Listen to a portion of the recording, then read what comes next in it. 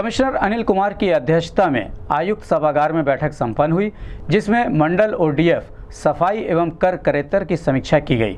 बैठक में कमिश्नर ने सभी अधिकारियों को निर्देश दिए कि पाँच दिनों के अंदर मंडल में स्वीकृत सभी शौचालय की प्रथम किश्त रिलीज़ हो जाए तथा पंद्रह दिनों के अंदर अवशेष शौचालय का निर्माण आरंभ हो जाए और हल हाल में सभी शौचालय 30 दिसंबर तक पूर्ण करा लिए जाएँ। नहीं तो कार्रवाई के लिए भी तैयार रहें। कमिश्नर ने कहा कि 2 अक्टूबर तक ओडीएफ होना है, इसलिए सभी नगर पालिका एवं नगर पंचायत 30 सितंबर को ही अंतिम तिथि मानकर कार्य करें तथा अपने नगर पालिका एवं नगर पंचायतों को ओडीएफ कराएँ। उन्होंने डोर टू डोर कूड़ा कलेक्शन पर बल देते हुए डंपिंग ग्राउंड के लिए ज़मीन भी तलाशने को कहा।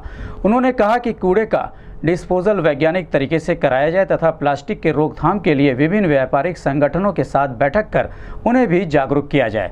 कमिश्नर ने कहा कि जेईएस के बचाव के लिए एंटी लार्वा स्प्रे का छिड़काव, फॉगिंग ओवरहेड टैंकों की सफ़ाई के साथ ही लोगों में स्वच्छता के प्रति जागरूकता लाने के लिए कार्य किया जाए।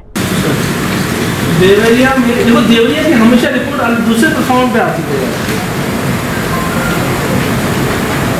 तय करो ना बार बार अलग अलग प्लेटफॉर्म पे क्यों रिपोर्ट आती है? मैं बता दिया। तो क्या बात है देवरिया हमेशा आपकी हर एक बात प्लेटफॉर्म में अलग रिपोर्ट आती है। और आपने लगभग बारह हज़ार आठ सौ छप्पन कर दिया तो लगभग सौ और बहस में भी कम है। सही सफल हुआ है। और पटनी बाज़ार में कम है। तो आपके चार नगर की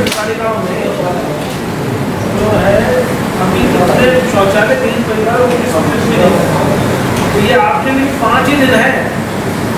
पाँच दिन बाद में मुझे मंडल में कोई भी ऐसा जगह दिखाई नहीं होती जहाँ पे शौचालय तीन परिवारों के सापेक्ष शौचालय सेंशन तो अभी आपके साढ़े चार हज़ार शौचालय बनने बाकी। कैसे पूरा करेंगे आप शाम की है